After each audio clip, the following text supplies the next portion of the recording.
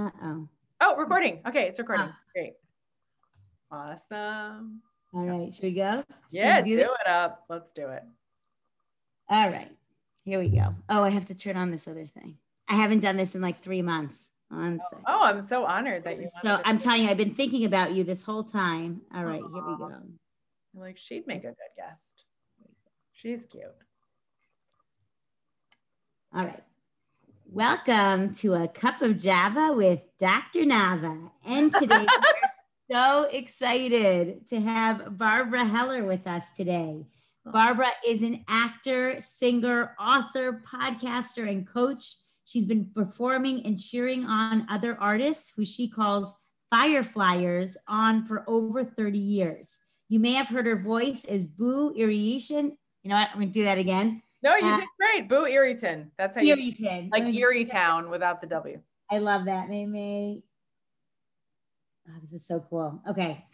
I've got to watch all these things now, but let me try that again. Yeah. Okay. Okay. Welcome to a cup of Java with Dr. Nava. And today we are so excited to have Barbara Heller with us today. She is an actor, singer, author, podcaster, and coach. She's been performing and cheering on other artists who she calls Fireflyers for over 30 years. You may have heard her voice as Boo Erieton on Disney Junior's Vampirina, as well as the voice of Mei Mei on DreamWorks series Kung Fu Panda, or on the radio or on the web in a variety of commercials, films, and audiobooks. Uh, Hero by Rhonda Byrne, Who is Ruth Bader Ginsburg? So, like, maybe don't, to name a few. She loves to write songs, musicals, and other fun and inspirational content. She hosts the podcast See One Beautiful Soul and leads workshops in finding your creativity as well as finding your magical voice. You can find out more at www.barbheller.com. So, Barbara, we are That was a mouthful. excited. Yeah, we're so excited that you're here with us. I know that you're in Florida right now. So you're zooming in from Florida here, and we're so excited to have you here with us. And I have been able to witness uh, the incredible musical talent, creative talent. I've been able to come to mindfulness and meditation sessions with Barbara. So I know we've got the real deal here, and I'm so excited to welcome you. Aw, what an amazing intro. Can I have you like in my back pocket wherever I go, especially on dates? Absolutely. What a absolutely. confidence. Thank you. I would be very honored. So, Barbara, today, one of the things that you do that I just think is so incredible and so important is your discussion um, of mindfulness and meditation, your deep understanding of it, uh, the way it makes people feel, the way it enhances their psychological and physical health. So, Mhm. just to start us off today, Barbara, if you could tell us, you know, mindfulness and meditation are terms that we throw around a lot. Can you help discriminate between them for us and tell us a little bit more? What do we mean by meditation? What do we mean by mindfulness? How are they related? Beautiful question. And I, I just have to say, I love, I love the way you communicate, Nava, because I wish everyone communicated that way. I feel like you, you and your sister also, for those of you who don't know her yet, she's also equally amazing. Um, you both have this incredible way of like walking around the earth, like in Hebrew, we would say dan l'chafschut, like giving everyone the benefit of the doubt. And it, every question, every way you talk, oh, is that what you meant? Like it's always, and I wish that's what my podcast, See One Beautiful Soul, is about. It's like literally you, like how, if everyone could just Nava for a few minutes, that would be awesome. Yes. Um, so I had to say that. So I love the way you asked the question.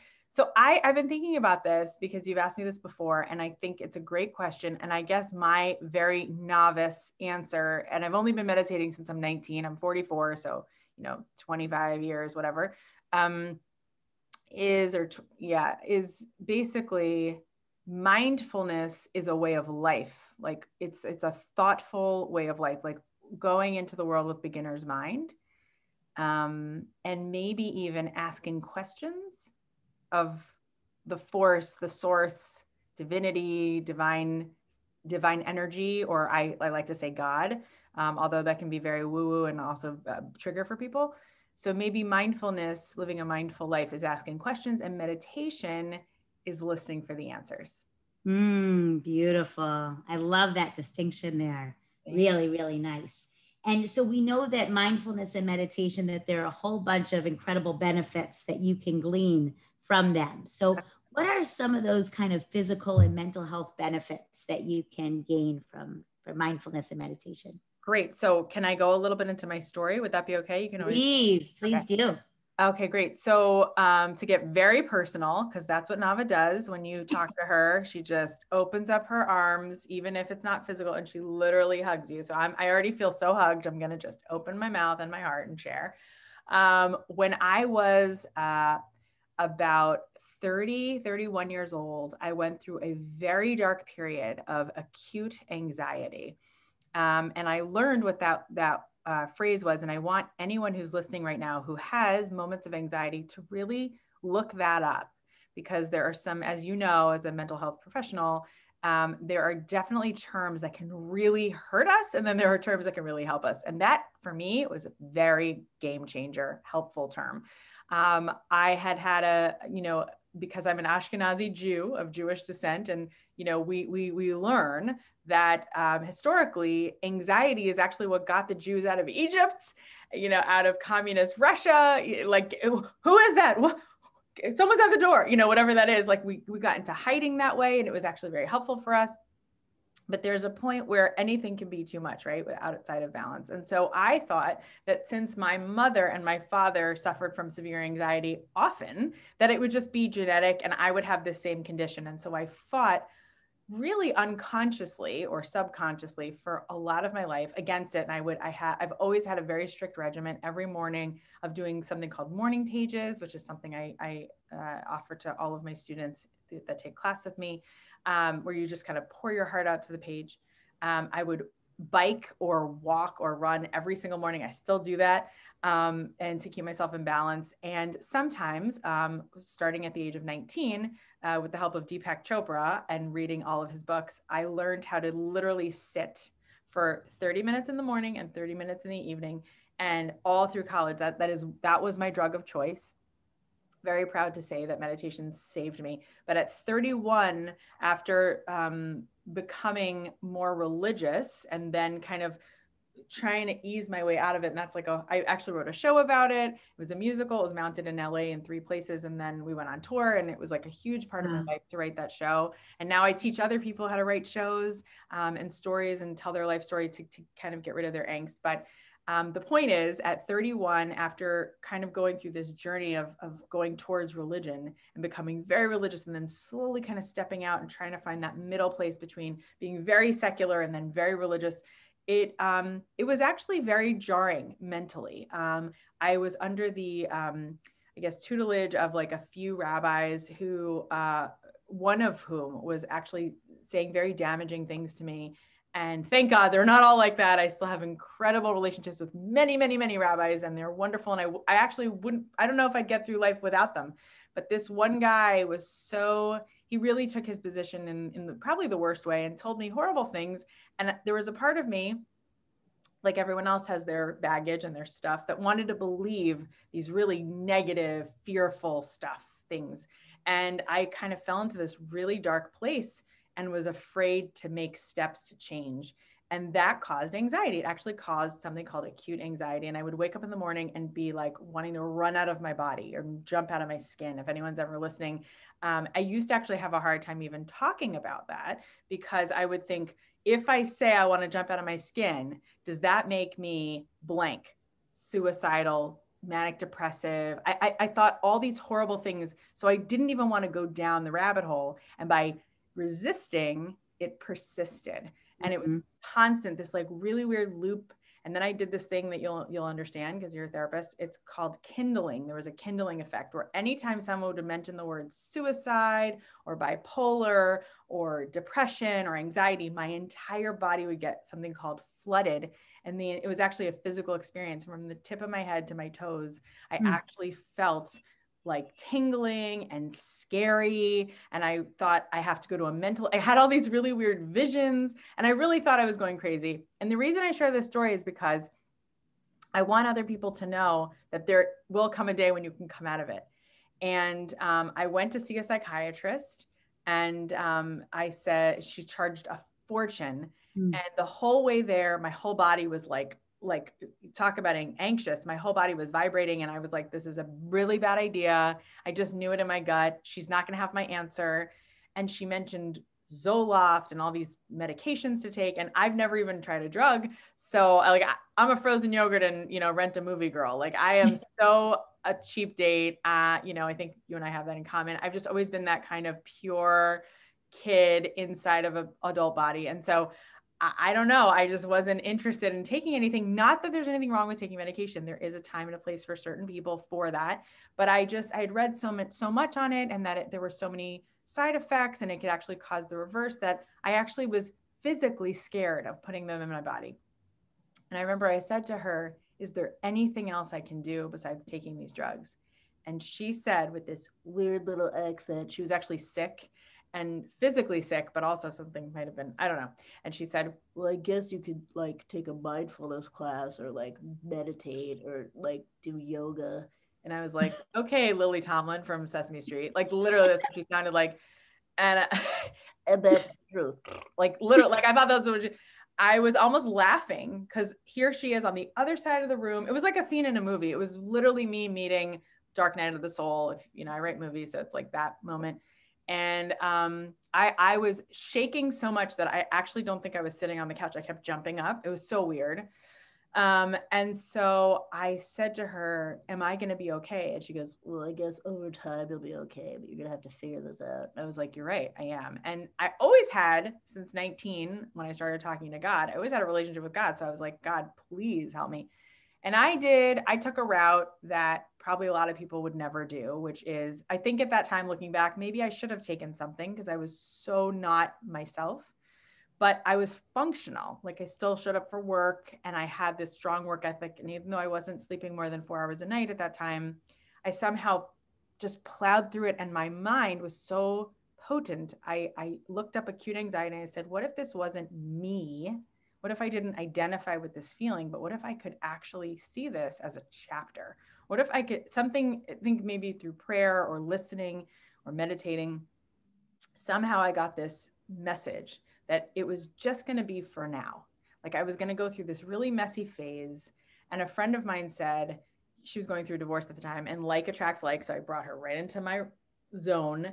And she opened up to me one night and she said, you know, my my therapist said that when you have anxiety, the reason you have it is because it's sort of like driving through the drive through of a fast food restaurant over and over again and you throw the french fry container in the back seat over and over and over again and then one day you slam on the brake and like all the french fries come flying at you. You don't realize how much cholesterol you have in your body or fat or whatever and then all of a sudden it's like oh my god look how much crap i've eaten so it was that moment and i said oh, so it doesn't have to be forever. And she goes, no, it's just for now. Like you're learning something, like you're spiritual, like this is just a growth moment.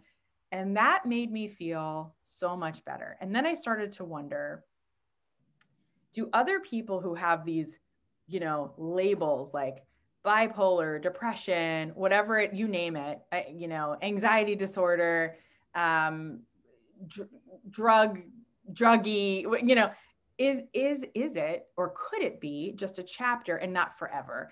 And i'm not here as a therapist i don't have any you know therapy training except for the 20 years of therapy i went through um, and my dad's a therapist so i know a lot of the terms and stuff. But you know and i coach people so i know what it means like some of these things i get. But i've done so much research on my own just because i was curious and i wasn't going to take no for an answer that so much of anxiety and depression and these acute moments are actually in my humble opinion please don't take this you know as your thing is literally the universe like knocking on the door and saying i want to talk to you.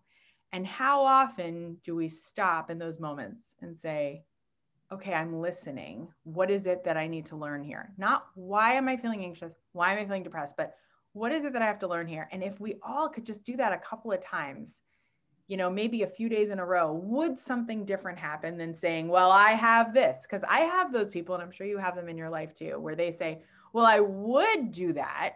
I would take a trip here. I would change my career. I would marry this person, or I would date this kind of, but I have, and then you fill in the blank. I have this disorder. I have this, you know, it's almost like a, a death sentence on growth And I was, I just keep seeing it over and over again in my life that when people just put a little space between themselves and that thing, and then they start to do mindful training, they go, oh, maybe this is just a chapter. Maybe this is just a moment in time, even if it lasted 20 years, even if it lasted a year. And so to finish this very long answer, and I'm sorry I'm going over and over, mm. is I would put my hands on my belly during this really excruciating, anxious time. And I said, God, I would say, you know, outright source, God, divine energy, if this is really just a chapter, then show me what it is that I need to learn. And I would literally take my hands and put them on my belly. And it's called somatic breathing. I, I learned that too.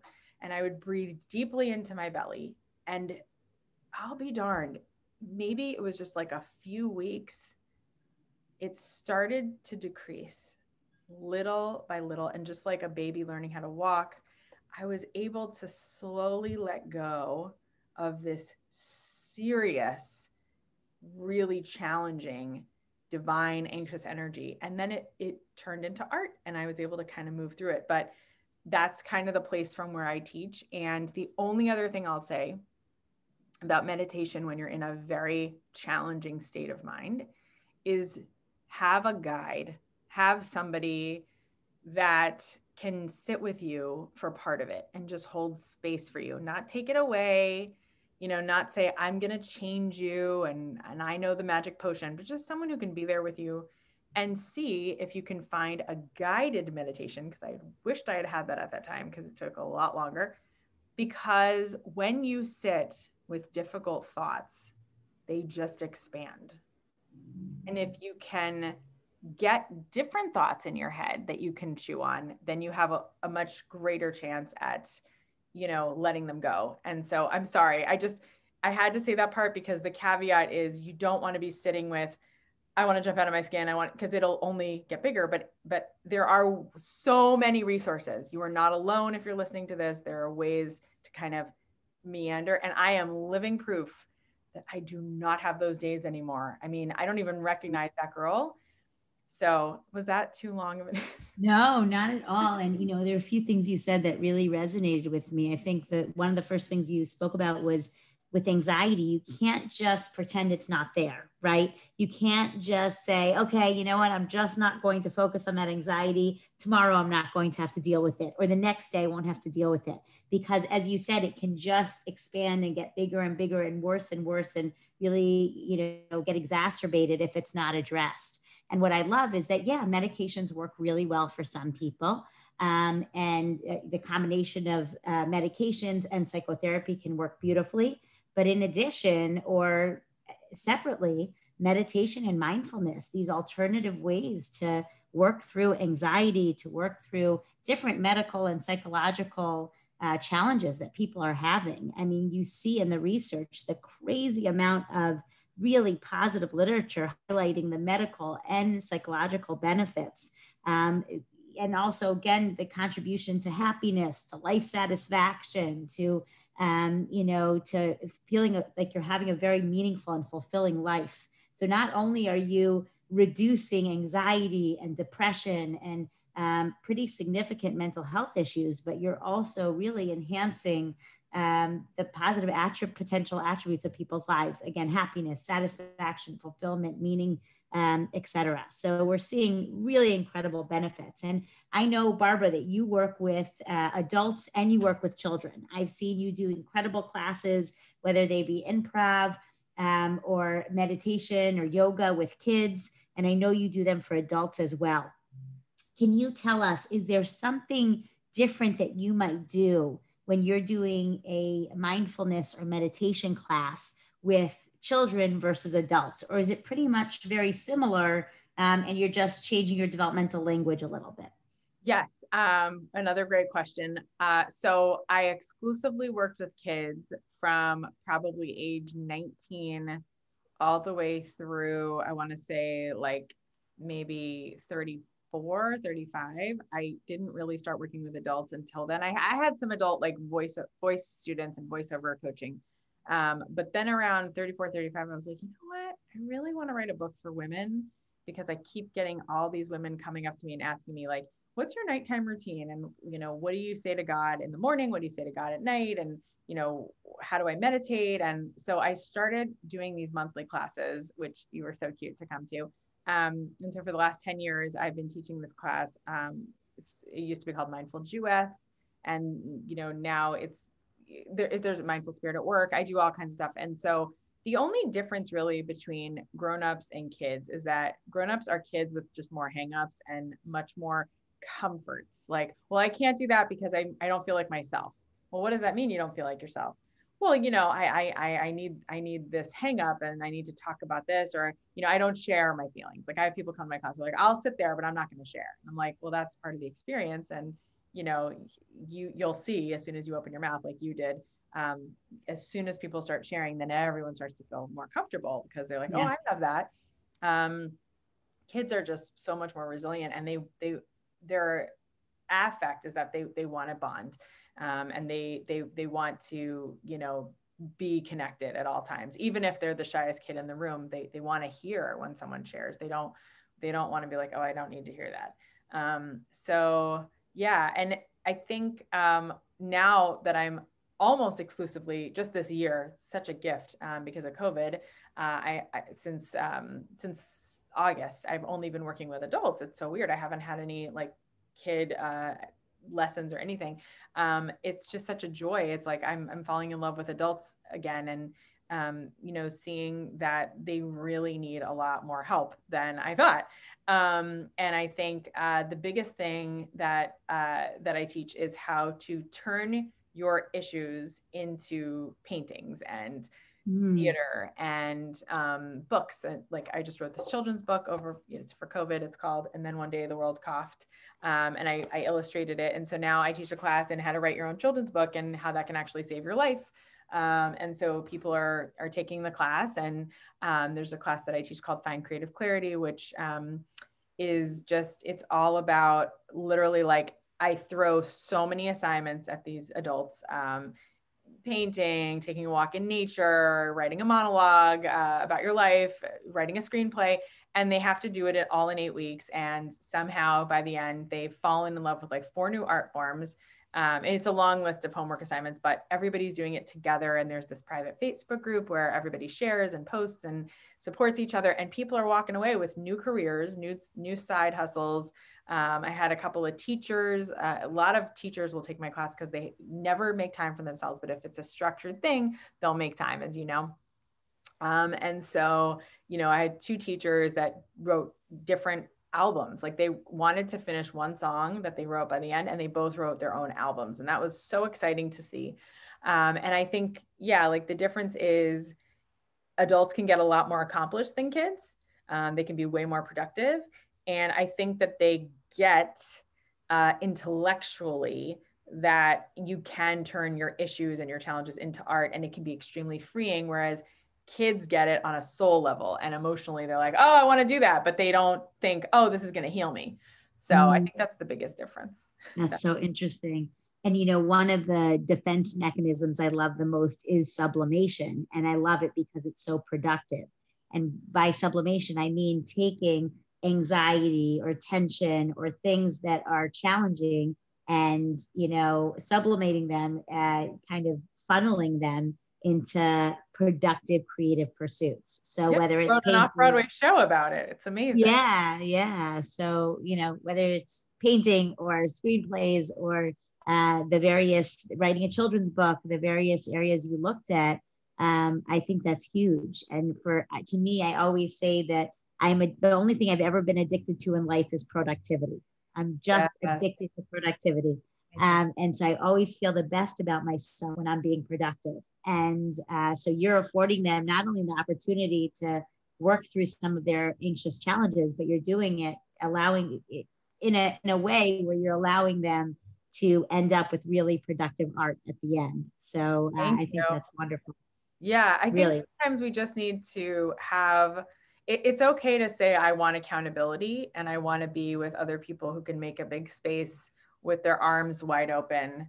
And uh, and that's what I did. I created a space online, and so now there's a membership group called the Fireflyers Club, where once they graduate from my eight week course, they can join, and it's just a monthly small fee and then everyone can be together and they're like i, I don't want to lose this and so in the new year i'm going to probably be doing like a once a week challenge there and showing up for facebook lives and stuff and it's it's such a cool new space to have you know everyone connecting online that probably couldn't before. So i think there's and that's what my book is about. And then one day the world coughed it's like finding all the blessings. It's actually a children's book for adults to talk yeah. about all the stuff that we're not really talking about. Because i think the kids will probably be pretty resilient coming out of this pandemic but it's the adults like we had some massive changes in our lives. Yeah. So um that's great. Ah that's so great.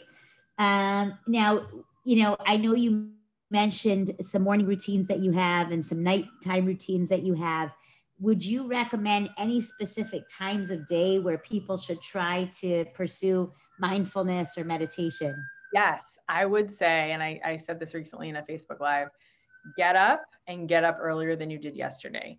Um, when there's there's a Hebrew fa- phrase called Ira HaShachar, and that's the, one of the names of my classes. It's in Psalm 57. Um, and I'm like obsessed with that. I, I once read that because I've always been a morning person and I used to like, you know, dog myself for it because I'm like, why am I waking up so early? But there was just this high I would get um, and so you know serotonin is is most prevalent during that time. And i think i would feel it because as soon as your eyes open this is scientifically proven there's like literally serotonin in the brain if, if you have natural light. Um, so the first thing i would say is get move to a place if you don't already have one where you can open up a, sh- a shutter and have the sunlight directly hit your eye. If you have no windows in your bedroom move to a place where you can uh, it's extremely important to see the sun, even if it's a small amount of it. Get outside. I don't care how cold it is. Get outside, even for a moment, and find a way to breathe in outside air. Um, it's extremely important. Um, and you know, get up early. Just get up early, even if even if you wake up when it's still dark outside, but you have the opportunity to see the the sun. Um, it, it's just i can't i mean vitamin d it's so interesting like you actually take apart all the things that are happening in this pandemic. It's so godly it's so divine. Um, we're all vitamin d deficient and why is that? Because we're, we're doing what we're doing now. It's like we're sitting in front of a computer uh, and it's a necessary thing. But we one of my rabbis from la uh, incredible guy Rev, um, Yaakov Kamenetsky um, he uh, sorry. Oh my God, I can't believe I just said that. Um, Rabbi K- Yosef Kanefsky. I don't know why, because Yaakov Kamenetsky is another guy. But anyway, yes, Yosef, yeah. haven't seen him in a few years. Um, he wrote in the very first week of COVID, he wrote an article in the Jewish Journal, and it was profoundly prophetic. And one of the things he said was, You wanted more screen time, you got it. Mm, mm-hmm. Yeah. He said, if you think about all the shiurs, all the other classes I tried to give during the week, or you know, how many people weren't coming to synagogue and and who whose kids were on the phones, you know, during the time that they probably shouldn't be. Um, it's just so interesting. And and yet we we, we we're home, you know. And uh, one of my pages in here says, you know, everyone's pay, paying way too much for houses they can't afford and now they're finally enjoying them you know? And no one's home. no one was home. No one was home. So um yeah i think getting up super early if you can get outside see the sun in some way um, find a space to meditate even if you have to start 10 minutes in the morning and 10 minutes in the evening. Um, and then another thing that i really believe in is taking a walk every day. Um, i don't believe in gyms. I've never belonged to one and somehow I've always kind of stayed in my zone with like weight. Um, I definitely believe in stretching your body, and then I also believe in fasting in the morning until like as as late as you can go. You don't really breakfast is such a terrible word because you you shouldn't be breaking your fast early in the morning, in my op- humble opinion. Um, lots of liquids, you know, water, stay away from non-nutritive sweeteners, have the brown sugar. You know, diet is so important um, I think staying away from dairy if you can and wheat um, right now as much as you can. I mean, definitely eat, but um, and then at night, um, I think you know we have we're so lucky we have this incredible canon of Jewish liturgy that we can read before we go to sleep. And one of the things I do every single night without fail, and it's the best sleep medicine I've ever had, um, is called the bedtime Shema. And so in that, uh, it's not just like if any Jews are listening, it's not just Shema Israel. It's not that. It's it's there's a whole paragraph that we say before we say that, and I I teach it to Jews, non-Jews, Buddhists, Christians, Muslims. Everybody eats this up because it's so universal. I didn't write it but there is a line that says, please forgive anyone that hurt me in any way, whether it was intentional or unintentional in this lifetime or a previous lifetime. And then I always say, and I make my own version of this because um, who has time to open up the book? But uh, the second statement is, please forgive me for hurting anyone intentionally or unintentionally, whether it was in this lifetime or another lifetime. Why? Because we have no idea how crucial that one look was when that person walked in through the door. And I am so guilty of that. I have such an expressive face. That's what makes me a probably a good actor. I don't know. Um, I can't not, and you have this too, Knobs, because you're so expressive. Um, I if if I'm in a bad mood or something has hurt me, I can't escape it. It's like I get it all out. I won't allow it to fester. But unfortunately, everyone around me can feel it. So if if something just happened with someone else and then another person walks in, they, they could probably think that I'm mad at them when I'm so not. And anyone who knows me knows that I will go out of my way. I'll go to the ends of the earth. I'll walk 20 extra blocks just to tell someone if they, if they upset me because I want to work it out. So I'm not carrying it around with me. That's like mm-hmm. one thing all my friends know. If they're, if anything's going on, they're like, oh, I have to call her. Now we have to really hash it out. Oh, but they love that about me. And they also hate it because I, I, I will go right up to what's bothering me. So sometimes if someone else is super shy and they see you roll your eyes and they don't know how to deal with it, they could be carrying that eye roll that you did for years. I have I have a friend who just opened up to me this year after like 6 years of carrying around this thing that I said that that hurt her so much and it was so beautiful when she finally and of course I was not defensive at all. I was like, oh my gosh, I wish you had told me. Like, what hurts me the most is that you've been carrying this for. She's like, well, that was on me. I said, no, but still, like, mm-hmm. I love you and I don't want you to be. So, that is all to say, like, you know, I have some friends that are like, well, my parents did this to me and da da da da da, and this person and this boyfriend, and I have nothing to feel sorry about because I never did anything to anyone. I'm like, well, interesting. You should say that because you don't know how you come across everyone, do you? Like, if we knew how much we hurt people, we would not be able to wake up the next day, you know? And at the same time, you know, if we knew how much people really loved us, really truly loved us and why it makes me cry, like wanted to give to us like completely wholeheartedly, we also might not be able to wake up because the the monstrosity of how much love is really in the world for us that we're not receiving we'd feel so guilty. Oh, I I ran away from that big gift because I was just afraid of intimacy. Like this happens daily because we're human and we we just can't receive it all at once. So I love that prayer at night because it's the great equalizer. Oh, I love that. And we know how hard it is to apologize, to forgive.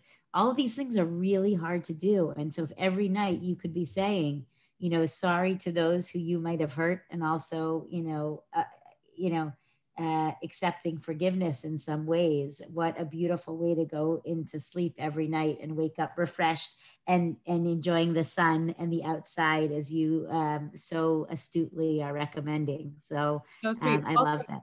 Thank you. I just want to add one more thing, which goes yeah. even deeper. That what makes it the great equalizer is that it's really not about us you know, that phrase, let go, let God. What is it that keeps us up at night? What makes us toss and turn? It's really mm-hmm. not the caffeine because right. you're really exhausted, you go to sleep anyway. It's, and I'm not trying to minimize food allergies and, but it's really something deeper, right? It's literally letting go of all that stuff. It, if you actually analyze all the things that make us toss and turn, it's I hurt somebody and I can't sleep, or someone hurt me. Yeah. How, how are they waking up at night or going to sleep at night and waking up in the mm-hmm. morning? How, how that's not fair. Well, instead of spending all that energy worrying about what could have been, what should have been, why don't you just literally raise it up and say, it's your call? And when you say, I'm letting go of this, please forgive that person, you're actually acknowledging that that great equalizer is going to give that person karma. And you're hoping, because you're such a kind heart, that it's actually less than what they deserve, quote unquote. Yeah. It's so yeah. deep, right? And then when you say, and then please forgive me, you're acknowledging that you could have also hurt somebody. Right. I love that. It's so important. I had a girl take my class. I tell this story sometimes because it's it's so moving to me and I'm so grateful that I had I was privy to it. So let's say her name is Bethany. She took my class and you know Bethany grew up in uh, the inner city. She was um, abused as a child. She was mm-hmm. slapped around, and she was adopted. And she came to me and said, "I have been on tranquilizers to help me go to sleep because I have demons." And I'm like, "Absolutely!" And again, acute demons, not she wasn't born with it. It's not a chemical. This is literally she grew up and has terrifying images in her brain, right? Mm and I and she said, I really want to convert to Judaism. And I want you to show me, I want you to hold my hand and take me through the, the prayer book and show me what are your tools? Like, how do you go, wake up in the morning? Is there anything that can help me go to sleep? I'm like, it's funny you should mention that. I have this thing that I do. And I'm so grateful that God put her on my path because I shared this with her. And she got off the tranquilizers the first week. Then she got off her antidepressants. Then she got off her anti anxieties and now she only does this prayer.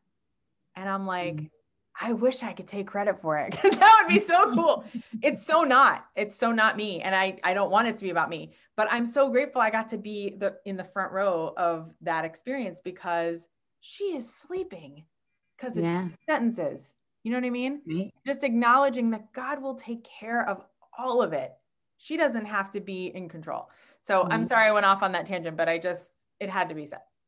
And I, I love how you also said earlier that it's not only saying the prayer, which is incredibly um, special and meaningful and helpful, um, but it's also addressing things head on, not letting them fester. When when there is a altercation between two people, going right to that person in a sensitive way, uh, sharing with them what's upsetting you, to give them that opportunity to apologize, to give them that awareness that this even happened. So I think that combination of what you said of addressing things head on in a sensitive and private fashion, uh, coupled with the, these prayers at night and this kind of meditative uh, stance, um, I think that combination is ideal. Me too. So I really like that.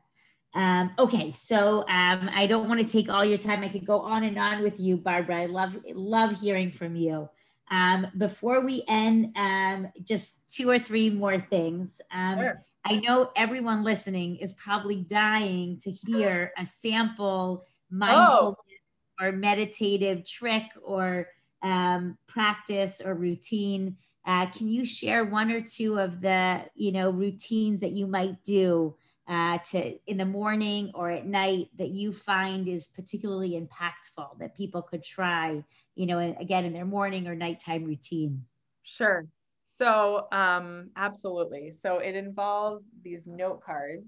Um, so i will have my morning process where i wake up first thing in the morning and i jump out of bed like a lion because that's like what we're commanded to do. And i say I'm so grateful that you returned my soul back to my body because we know a little piece of our soul goes up eh, you know to the heavens at night. And then when we when we return in the morning we we've got it all there uh, god willing. And so i jump out of bed and i literally jump out of bed every day. I'm also a leo. I've got the hair so i'll just jump. Um, and that's really helpful. Um, and then what i do with the cards is not every day but if there's something like a lump in my throat like really bothering me I call up to the surface. Okay, what is this? Not why. Why is the worst question to ask when we're feeling down? What can I learn from this? What is it that I'm really struggling with? And I usually have a statement that will say, like I used to struggle with, I'm just not lucky. Like all these people around me are so lucky. They found their soulmate. They have children. They're living in this house that I like. I've had the, a very similar vision board for many years that has all these things on it. And I've had an incredible life. I am so grateful. I've had such incredible things happen to me that you wouldn't believe. I met Josh Groban in the grocery store at 10 p.m. at night, just me and him, and we hung out. Like that doesn't happen to everybody. And I am so grateful for that. I, I, actually have a, you can look it up on Facebook. I made a little video about it. Um, it's just me vlogging about it, but like there's no way I'm lying because it's so real and it really happened. I mean, I it's amazing lie about it, but that really happened to me. You know, like I've had such incredible moments of meeting people that I've always wanted to meet and working with them and meeting celebrities and um, I feel very, very, very lucky in so many ways that I mean, I, I survived COVID. I got on a plane in the middle of the night in March from New York City to LA. I've already flown across the country twice. I went to Mexico recently and I'm praying the whole time. Like, oh my God, I am so grateful. And, you know, there's things that I don't have yet that I've like always wanted to have. Um, and I, I sometimes struggle with this, this negativity that comes up and it'll say, well, I'm not lucky or, you know, this person's lucky and I'm not. And it's so annoying when it comes up, but it's something that I struggle with. And so if that's happening on a morning or if it happened in the past, because it's not happening anymore, um, I will write down, you know, I am feeling unlucky. And so then I do Byron Katie's four turnaround questions, except I change them up a little bit. So I ask myself, is this true? And I'll be like, yes. And then the second question is, how do you know it's true? I'm like, well, I mean, I guess I am pretty lucky because X, Y, and Z, you know? And then the third question would be, well, you know, what are you going to do about it? That's how I change it. And I say, well, I guess I could just sit here for a second and name 10 things I'm grateful for. Then all of a sudden I start feeling lucky. And then I'm like, huh, I guess I am really lucky. And the fourth one is the turnaround. It's like, well, I am really lucky. And now I know that I am a lucky person because X, Y, and Z. And so that's what goes on the card. And then it becomes a mantra. And so sometimes I turn my mantras into art. And so, mm-hmm. like this painting behind me, um, which you can't see right now if you're listening, but there's a beautiful painting that has a sun in it and some flowers. And I have become the most amazing painter because um, I have paintings all around my house from doing mantra art. It's art that I created out of darkness and it's awesome. And people will always say, God, that's so pretty. What is that? And then i get to tell them well, oh well that day i was feeling really crappy and then this is what i wound up doing and you know and now i know that the light and they're like wow now i like it even more you know and it's never arbitrary. I think great art is never arbitrary. I think it comes out of you know feelings and stories and you know chapters. So i hope that's helpful. Yeah so you you mentioned the note cards that you take out um, and you you jot something down and then you start to really kind of question that statement um, and then you sublimate that those that those tensions those challenges into beautiful art. And i love that. What a great uh, a great trick to do. Um, i love that. And then and then at night is there something that you do at night? Well, um, I, I definitely say the bedtime shema. Um, right. i give myself probably like an hour of the the lights be i learned this from the people that i always tell you you remind me of well the person marion blinkoff who's my soul sister for life and um, I, I, put you in that same category. I think we'll always be soul sisters for life. Mm-hmm. since i met you i'm like and also just because out of the sheer like similarity that you have with my best friend marion like you just you are so similar to her. Um, and she's such a mm-hmm. special human being. I mean she's like an angel um, and so are you. Um, but you know, she and her husband have like these routines that I kind of picked up because I, I mean, basically lived with them near them for so many years.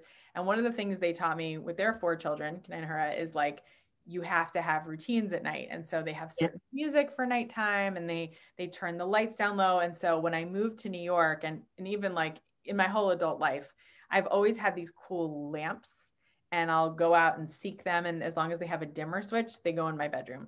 Mm. And I do that because there's a kid inside of all of us. And so just like you put your, you know, little Judas and Jonas to sleep, so I I have to put myself to sleep too. And so I make sure the screen time goes off at a certain time. Mm. Um, and every night it's a little different because of, you know, whatever. And if I do watch something, it has to be something very soothing. I can't watch horror movies or porn or anything like R rated. I just can't. I my body's like, nope. So like I just can't. So it has to be very lighthearted.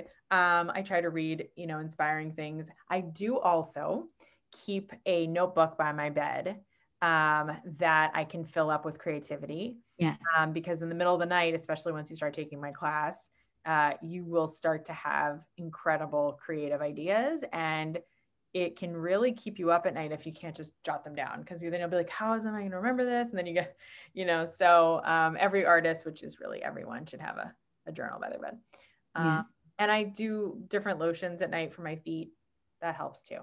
That's great. I also have a creativity notebook next to my bed so i'm excited that we do the same thing. That's really really great. Um, okay so um, two last things. Okay. Um, I know that after hearing all of these amazing things, people want to know how to find you. So, can you tell us uh, how to find you? And then you mentioned running into different celebrities. Okay.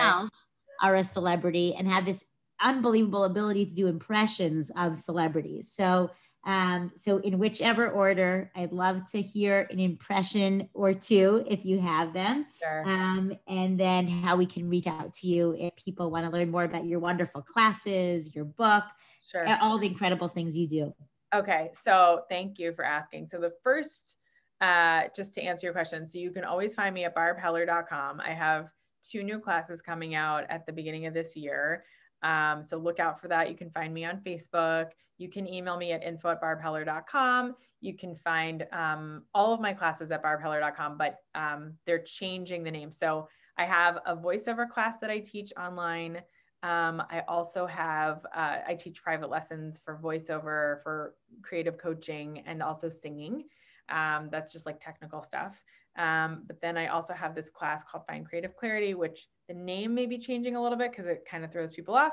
Um, I have a class coming out soon called Speak Your Magic, which will mm. allow people to speak better um, online in front of the camera, like getting more comfortable with just expressing themselves. Um, if you're a TED talker or you're a wannabe TED talker, um, if you have a really hard time putting together a commercial for your business, I can help you with all of that. And in eight weeks, you will have a keynote that you can just put in your back pocket and take out at a wedding, wherever you need to give a speech. Um, so yeah, so if you're interested in that or writing your own one person show, all of that can be done in, in my class. Um, and I also have this thing called the Fireflyers Club, which is on Facebook. It's a group and it's specifically for people who have taken one of my classes before they can jump in and, you know, get cool assignments and have like like-minded people. Um, and yeah, Find Creative Clarity is an awesome class. I just, I may be changing the name of it. And then the, there's also my, my uh, podcast called See One Beautiful Soul. If you think you have a great forgiveness story, it's all about forgiveness and tools of freedom. Um, you can definitely inquire to be a guest on the show. Um, and yeah, I think that's that's pretty much how you get in touch. That sounds amazing. Um, and I know that I've listened to so many of your different impressions. I oh, think right. one of my favorites is Sandra Bullock, just uh, because uh, one of my favorites. and uh, you might be able to do a Reese Witherspoon or something of the sort, but okay. I don't putting you on the spot. So that's okay. All right. So give me um, a situation like maybe they're trying to return their Christmas gifts or something. Oh yeah. Okay. So they're at a store they're trying to return gifts that they uh, just received. Okay. Um, and uh, yeah, and okay, and you're on. So I'll do Sandra Bullock trying to return her gifts with her kids. Okay, here we go.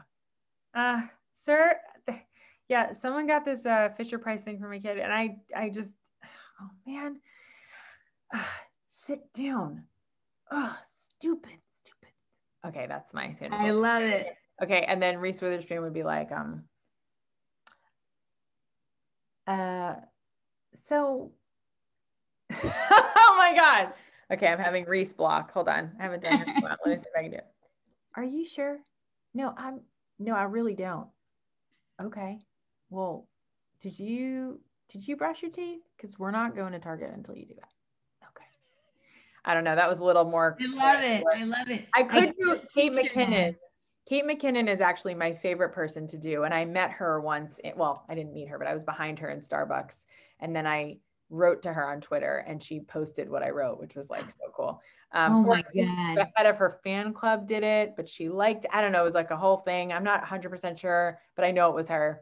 So Kate McKinnon is just so fun to do because she kind of has this really weird, like Jane Lynch slowed down type of tone. And she also fits in the Candice Bergen area. So we've got like Candice Bergen, Kate McKinnon, Jane Lynch, and um, Helen Hunt is somewhere in there too. You know what I mean? She's just a little more uh, like uh, breathy, but they're all they're all there. You know what I mean? They're just all in that really. And my favorite person that I used to love to imitate before Kate McKinnon was Ann Curry, the Ooh. news anchor, because she would report the news, and you just felt so much just by listening to her. And then guy named Matt Lauer just ruined just ruined her career and it was it was devastating. And then, you know, look at what happened to him. So I don't know. That's uh that's the news. There we go. All right. You've done it all. What a what a way to come out. I love it. I love it. Oh, those were amazing. Um, well, Barbara, we are so thankful to you for joining us today and giving us so much wisdom, not just about meditation and mindfulness, but just how to live a really balanced tranquil life. One not only that is balanced and tranquil, but one where you can feel productive, you can turn challenging things into art, into beauty, um, and into feeling really wonderfully about yourselves and about the world around you. So I really can't thank you enough for joining us today. And uh, we really look forward to uh, hearing from you again soon. Thank you, Nava. It's been a pleasure. You're so good at this. You're so good at listening and making space for people. And we're lucky to have you too. Thank you so much. Yay. All right. I'll